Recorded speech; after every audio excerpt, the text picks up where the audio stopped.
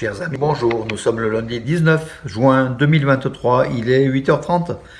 Quelques news de l'Arménie, de l'Alsar et de la diaspora arménienne. Tout d'abord l'info, donc hier, toute la journée, vous avez eu les médias, les télés. Misak Manouchian va entrer au Panthéon officiellement. Misak Manouchian, le résistant arménien, euh, et son épouse Mélinée vont entrer au Panthéon. Ça sera en février 2024. Ça a été annoncé par euh, le président Emmanuel Macron et par l'Élysée, donc voilà, donc hier toute la journée les médias ont largement relayé. Donc ce matin, donc l'Humanité, donc l'Humanité qui est, le journal communiste, il était communiste, hein, donc le résistant arménien Misak Manouchian. L'Humanité donc de ce matin, donc euh, voilà en première page, c'est Misak Manouchian. Donc euh, voilà, vous pouvez le, il, est, en kiosque, hein, donc il faut encourager puisque effectivement les résistants euh, communistes étaient nombreux, donc qui ont libéré la France, hein, voilà tout simplement.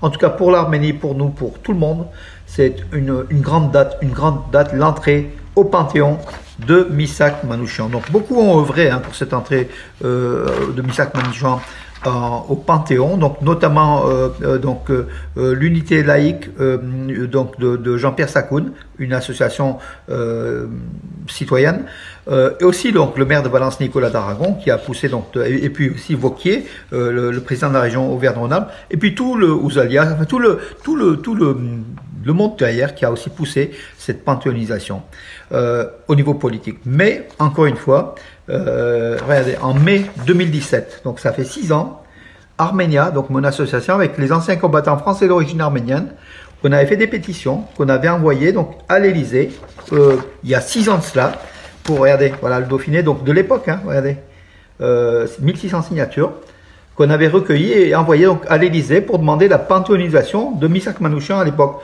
Il faut dire que quelques mois avant nous, il faut le dire, à Marseille, la JAF avait fait une, action, mais peut-être pas de pétition, mais qui avait demandé donc à quelques élus euh, pour cette panthéonisation, en tout cas, à des Arméniens et la fois des anciens combattants français d'origine arménienne, en 2017, avait fait donc une action.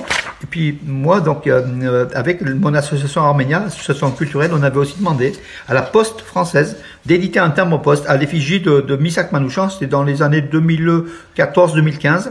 Euh, on avait recueilli aussi des centaines et des centaines de signatures qu'on avait envoyées à l'Élysée.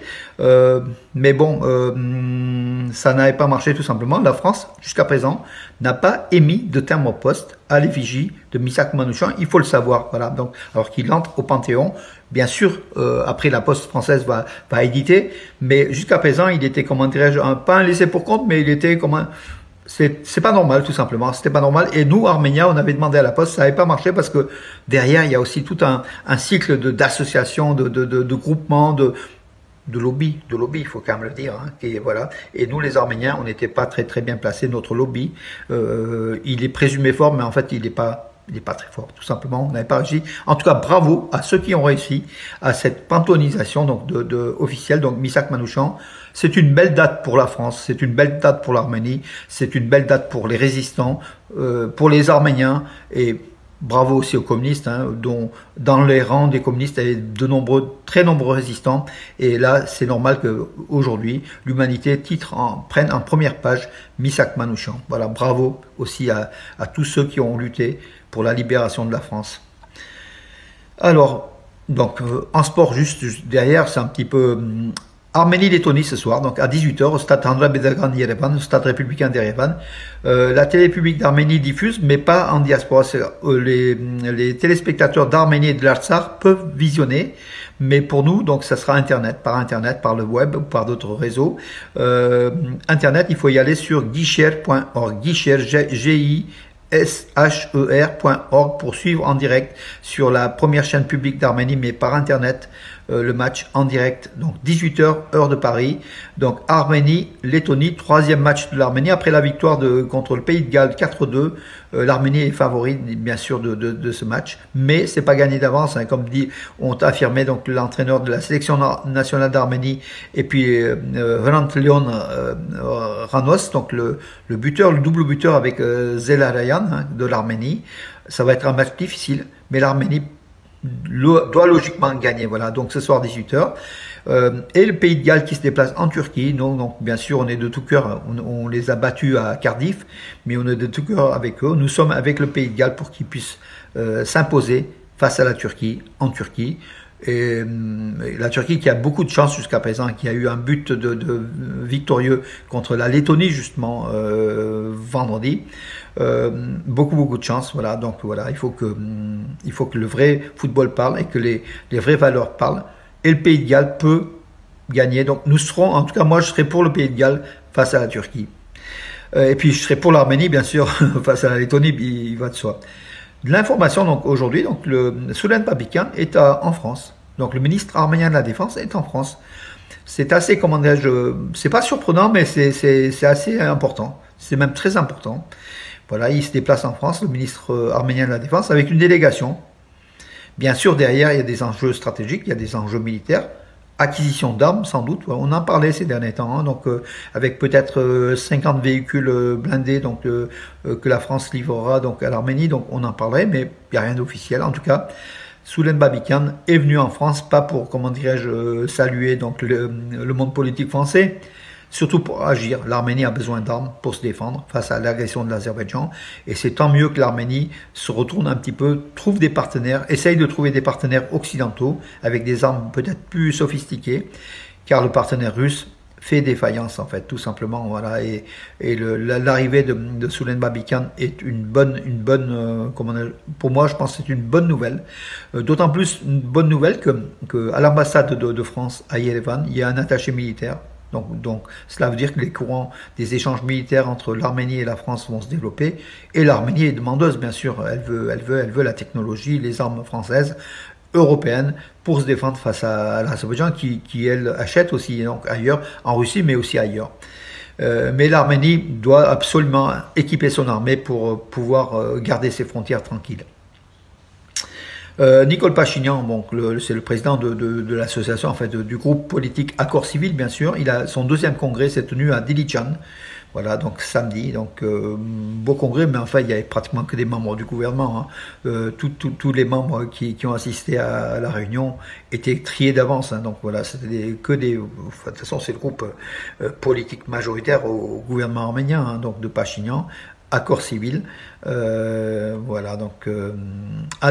Et puis Dilijan, en fait, c'est une ville euh, qui est très dans la région de Tavouche, hein, qui est à une centaine de kilomètres d'Erevan, une ville très importante, une ville qui est hyper, comment dirais-je, où il se passe beaucoup de choses.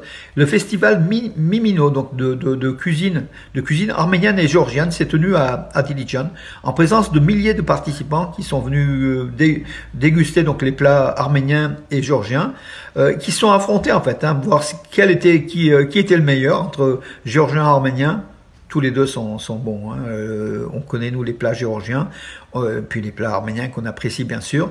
Mais ce festival donc de, de, de cuisine à Dilijan, Mimino, Mimino, Mimino, c'est le titre d'un, c'est le, c'est dans un film en fait. Il y a un géorgien qui voilà donc il était de Dilijan.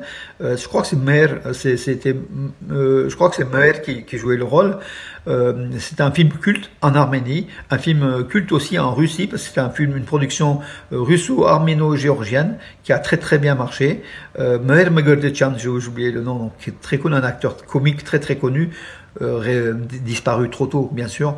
Euh, voilà, euh, Festival Mimino, c'est le nom de, d'un acteur de ce film, Adil Jan, qui s'est tenu donc samedi à Yerevan. Et puis c'était aussi financé par le ministère du, Tourisme, en fait, par le gouvernement arménien, par la ville de Dilijan, par d'autres organisations pour pousser le tourisme en Arménie et Dilijan est une ville touristique. L'Arménie a beaucoup de villes touristiques. Il faut y aller, mes amis. Quand vous êtes en Arménie, il faut aller à Dilijan. Il se passe toujours quelque chose. Il faut y aller à Zargasol. Il se passe toujours quelque chose. Il faut y aller dans tous les dans tous les coins de l'Arménie. Il y a des comment des, festi enfin, des festivals euh, qui sont qui sont très très intéressants. Du, du, vin, par exemple, à Areni, il faut y aller. Euh, L'Arménie quand même découvre que c'est par des, par des, des manifestations de ce type-là qu'on attire du tourisme. Et c'est vrai que cette année, le tourisme en, Arménie va être un, un, chiffre record, il va dépasser les 2 millions. Donc voilà, aujourd'hui on est déjà à 950, voire 1 million là, donc fin juin on sera, donc on, dépassera largement les 2 millions à la fin de l'année. Euh, voilà mes amis. Alors que dire d'autre? Donc là, oui, des tirs à série à la frontière donc euh, de l'Arménie, donc sur plusieurs villages, donc Velin, Velin Soja, Sotk, la mine, donc le, qui a un village à côté, la mine d'or, et Nerkinand. Euh, cette nuit, donc, j'ai pas mis encore l'annonce, donc il y a eu aussi des tirs, hein, donc encore une fois, donc euh, à la frontière de l'Arménie, c'est régulier, l'Azerbaïdjan donc euh, régulièrement tire pour essayer de, de, de, de mettre une ambiance d'insécurité aux frontières d'Arménie et pour dire qu'on veut le Zankezoul, on veut un passage par le Zankezoul, on veut l'Arménie. C'est une agression du territoire souverain de l'Arménie par le dictateur Aliyev. Voilà, et c'est depuis deux ans, depuis mai 2021, les Azéris sont installés, donc il y a à peu près entre 1000 et 2000 soldats Azéris sur le territoire souverain de l'Arménie, installés aux frontières, à quelques kilomètres même de la frontière. Euh, et l'Azerbaïdjan met, met la pression, et le, comment dirais-je, le traité de paix entre l'Arménie et, l'Azerbaïdjan qui, qui avance, mais avance très très lentement. Voilà, et l'Azerbaïdjan fait tout pour que ça avance pas vite, pour que, entre temps, il puisse avoir des gains territoriaux, des gains politiques derrière, et des gains, oui, euh, territoriaux surtout. Voilà, mes amis, écoutez, j'en ai fait le tour pour aujourd'hui.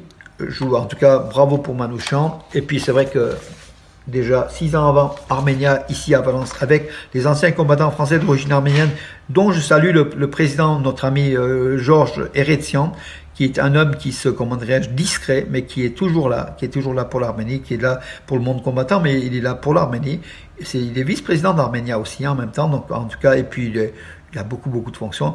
Il fait modestement, mais il fait vraiment un travail de fond qui est intéressant.